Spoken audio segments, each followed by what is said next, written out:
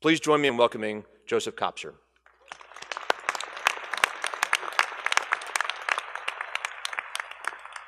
Well, thank you and Dean Hartzell and the other deans that were part of allowing me to share this day with you. Uh, it's a huge honor.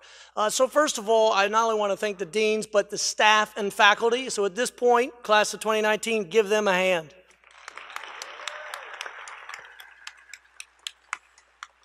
All right, class of 2019, you are this close to being there. However, you would not have gotten where you are in these front rows if it hadn't been for the people in the back rows. So I want you all to make a lot of noise for them, and parents, friends, family, give yourselves a hand as well.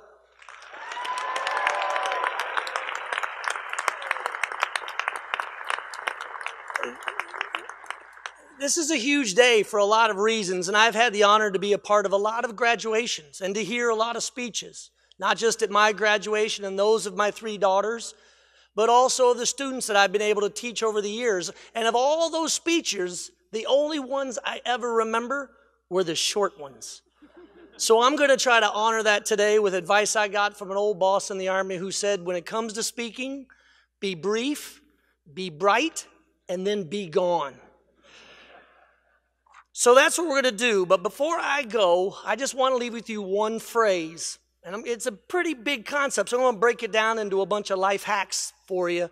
But this one phrase is very simple and it's carried me through everything to this day. And it is for you to understand that people will be what they can see. People will be what they can see. And there's so much inside of that. I'll give you one example, one fantastic example of that. Robert Smith, very successful Austin businessman Vista Equity Partners. You may have heard that earlier this year, he went and did something incredible, went to a commencement exercise at Morehouse College, and during his speech, he announced that he was taking the wealth that he had accrued through the years and was using it to pay it forward by paying down all of the student debt of the graduating class of Morehouse this year. That is what we mean by people being what they can see, and the inspiration that provides others. So today I have a very big announcement of what I'm going to give to you, the class of 2019. Free advice. Okay. Look, I'm an entrepreneur. I'm a young entrepreneur. I'm not there yet to give you all free graduation, but one of you or 10 of you is going to take this free advice, which you are going to turn into something priceless. You will pay it forward and you will pay the debts of the class of 2039 or 49 and beyond. But here's the problem that you face going out into this new world. The economy of today is changing faster than it ever has in the history of civilization. The forces of globalization, artificial intelligence, the movement of people into cities. It's going to disrupt your future in a way that no generation your age prior to you has ever seen. But here's the good news that if you can maintain the awareness of being part of what we call learning organizations, those that study what works and more importantly understands why it doesn't and then fix it. Because when you go out into an organization, if you remember that people will be what they can see and you embody that life learning and lifelong pursuit of understanding what's going around you, you'll be fine. And as we used to say in the army, soldiers are not in the army, soldiers are the army. You will not be going into a company or creating your own, you are the company. How you choose to conduct yourself and how you treat others will set a tone for everyone around you. But now here's the good news. If you, if you believe this idea that people will be what they can see, you're already doing the first thing right, which is to set the example, to be the role model. Behind you in these rows here in Bass Concert Hall are nieces and nephews, cousins, little brothers, little sisters older brothers and sisters who see what you have done. They now want to be you. They want to learn from watching the hard work that you put in growing up as a kid, applying yourself in college, and what that has led to. And that idea of role modeling is important, but there's a darker side to it. And you're going to see it when you're out in your companies going forward. There is a toxic leadership. There is a negative aspect to leadership that I hope you understand is not what right looks like. Because if you can role model what's right about treating people in a positive way, about leading by example, then your peers, the people that will later work for you, will build better organizations going forward because they will be following your example. They will see what you did and tell those stories. But there's another thing to consider. You want to be the change. You could you should seek out the opportunity to be the change you want to see. When you join your organization, you don't like something about what you see, be the entrepreneur and change it. It's what I learned from my 6th grade teacher, Mrs. Audrey Grievous. She was a civil rights icon in the 1950s and 60s, and when I had her in class as a skinny little 12 year old, she says, when you see a problem, go and fix it. Go and fix it. Don't wait on others. At its very heart, that's what entrepreneurship is about, is solving problems. But there's another aspect. What you need to understand is that through role modeling, you have a responsibility to build the next bench, to be able to focus on mentorship. And mentorship and life coaching doesn't even have to be anything more than showing an interest in the people that work with you or work with you. Perhaps the most important question I ever learned about mentorship came from one of the Army's most senior graduates of the University of Texas, a gentleman named Robert W. Cone. And before he passed away, he made it clear to everyone who worked for him if you want to take care of folks and mentor their careers going forward, ask them one simple question So, what do you want to do next? What do you want to do next? Too many bosses have ground their workforce into the dirt because they want to step on them for quick profit or quick reward. But it is those bosses who are more concerned at looking down than looking up that take care of the people and ask, What do you want to do next? What does your roadmap look like in the future? And when you get that right, nothing's going to hold you back. And you now have an opportunity to pay it forward. Over these years here at McCombs, you've met lots of students who you see promise in. You've met lots of students that just need a hand up. That's where you come in and get to be that role model and to pay that forward. But in this pursuit, people are not going to know what you were able to do and accomplish and the value of that hard work unless you tell your story. We know the literature is out there. Not everyone tells their story in the same way. Sometimes you will just tell your story by quiet examples of leadership. But other chances, when you have it, pull that person aside and say, you know, this went well today, but in my previous job with a previous boss, wow, we screwed this up six ways to Sunday.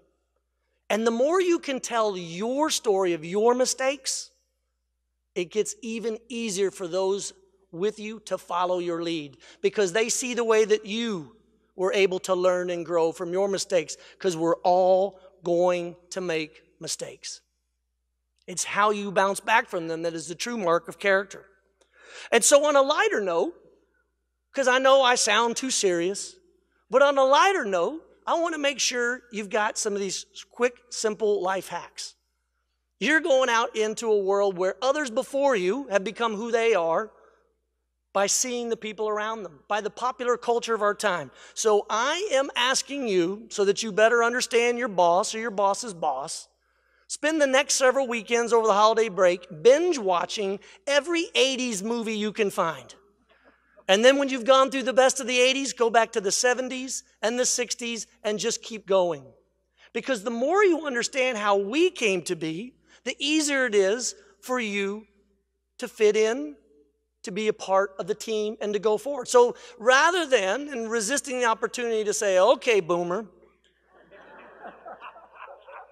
understand through their music and their pop culture how they came to be in the exact same way that if they're a good boss, they're seeking out your popular culture to better understand you. And so, in closing, it's about remembering that at the end of the day, of all the teams I've been a part of in the military, in business, in academia, in politics, of all those worlds, all the problems came down to one concept, and that's people. And people too, awful for, too often forgetting that people will be what they can see. They either follow good leadership in a good direction, or they take toxic leadership and make it worse. So, some of my favorites, real quick, besides watching every 80s movie that you can, it's a simple concept and it's rest. R E S T. I had a boss once, his name was George Casey. He ran the war in Iraq. I've never met a person with perhaps more responsibility than maybe a leader of a country. And even in the 24 hour operations of combat, it was important for him as a leader and you to take this heed and this advice to pause, to rest, to read. Read something beyond the world that you're in. E, to exercise, to burn off that stress, to stay healthy so that you can lead by example by always being present and fit. Sleep. Get your rest. Learn to nap. And for goodness sakes, turn your phone off when you sleep. The buzzing all night long, I have no idea how you get any restful sleep. And then lastly, think. Unplug.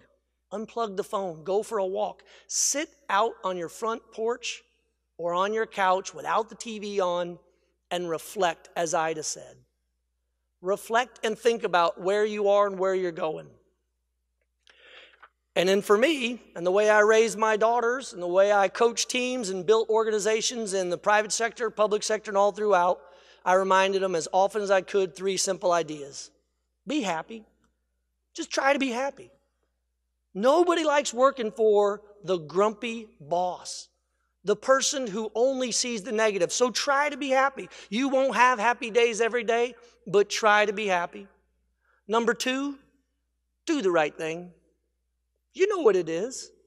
All the people in the back row spent the last 20 plus years showing you, teaching you. You know what it is. The question is when the time comes, do you choose to do the right thing?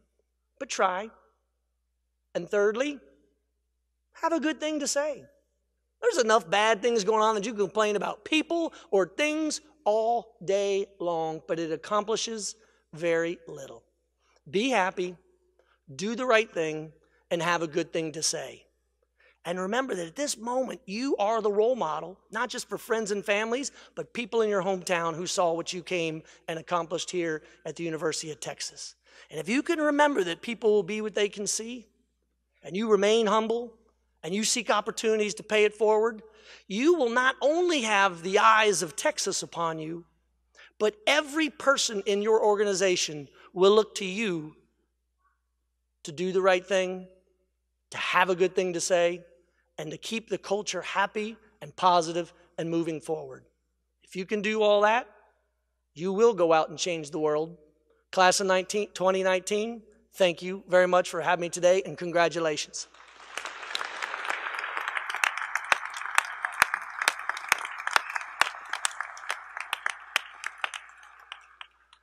Thanks a lot, Joseph. I know I, I'll have things to take away. I would start with the John Hughes films. Uh, so I, a little, a little, a little bit of Sixteen Candles uh, will do you right.